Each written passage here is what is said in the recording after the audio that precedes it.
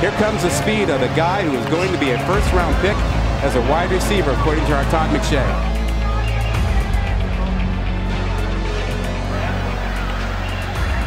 Here's Harry on the return. Trying to switch fields. Gets a block. Uh-oh. N'Keal Harry. Do you believe that?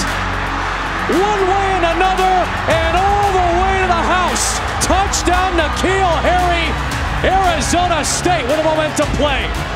You talk about things you're not supposed to do unless you do this. This is a right return. They set up the picket fence to his right. Look at the blocks coming across. If he can get to the edge, he's on his way. They pick off everybody with that picket fence that they set up for him, and he was on his way.